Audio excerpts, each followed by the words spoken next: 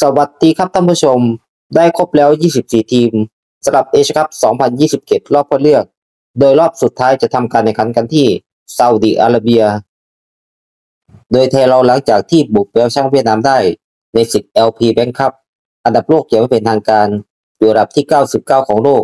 ถูกจัดอยู่ในโถที่ 1 และล่าสุดได้แล้ว 3 ทีมที่มาจากรอบเพลย์ออฟ โดยทีมแรกศรีลังกา พวกเขาเอาชนะจุดโทษกัมพูชาได้ 4 ประตูต่อ 2 หลัง2นัดสกอร์รวมเสมอกันอยู่ที่2ประตูต่อ2ติมอร์เลสเตเอาชนะมองโกเลียด้วยผลสกอร์รวม4ประตูต่อ3และบรูไนเอาชนะมาเก๊าด้วยสกอร์รวม4ประตูต่อ0และล่าสุดผลการแบ่งโถเอเชียคัพ2027 รอบคัดเลือก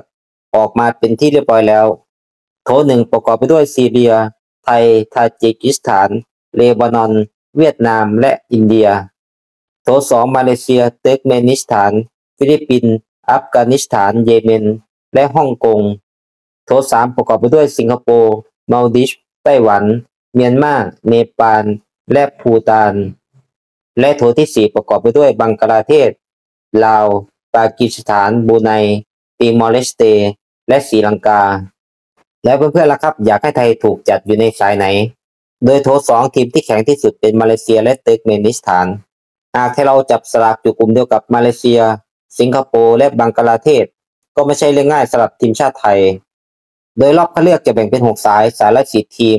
จะแข่งขันแบบพบกันหมด จะเอาแชมป์ของแต่ละกลุ่มเท่านั้นผ่านเข้ารอบต่อไป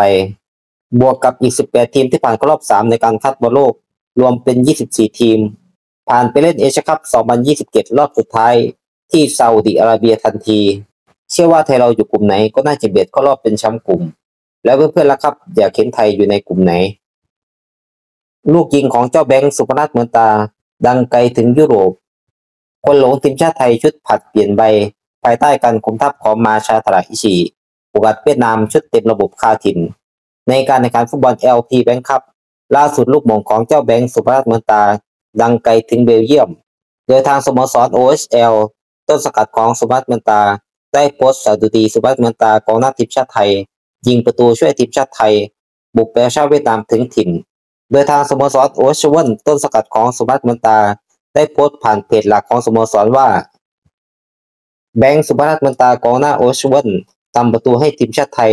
ในศึกฟุตบอลอุ่นเครื่อง LP แบงค์คัพ2024 ที่ประเทศเวียดนามสำหรับเจ้าแบงค์สุภัทมันตากองหน้าวัย 22 ปีทีมชาติไทย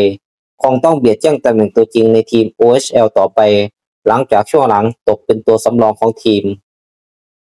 ฮือฮาฟีฟ่าเลือกคู่ไทย แมตช์แรกเปิดสนามฟุตซอลโลกที่อุซเบกิสถาน สมาพันธ์ฟุตบอลนานาชาติหรือฟีฟ่าแถลงข่าวอย่างเป็นทางการ เลือกคู่ทีมชาติไทยกับโครเอเชีย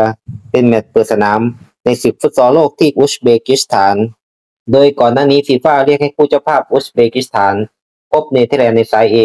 เป็นคู่เปิดสนาม แต่ล่าสุดมีการสลับการแข่งขัน ไปแข่งขันเป็นคู่สุดท้ายของวันเสาร์ ให้คู่ไทยพบกับโครเอเชียกลายเป็นคู่เปิดสนามอย่างเป็นทางการ ในศึกฟุตซอลชิงแชมป์โลกที่อุซเบกิสถานสำหรับโปรแกรมการแข่งขันของทีมชาติไทย นัดแรกวันที่ 14 กันยา เวลา 17นาฬิกาตามเวลาประเทศไทย จะพบกับโครเอเชีย นัดที่ 2 วันที่ 17 กันยา เวลา 19นาฬิกา30 นาทีจะพบกับคิวบา และนัดสุดท้ายในรอบแบ่งกลุ่ม วันที่ 20 กันยา เวลา 19นาฬิกา30 นาทีจะพบกับบราซิล เรามาคอลุ้นกันว่าทีมชาติไทยจะสามารถสร้างประวัติศาสตร์ ผ่านไปไกลเกินรอบ 16 ทีมได้หรือไม่สำหรับคลิปนี้สวัสดีครับ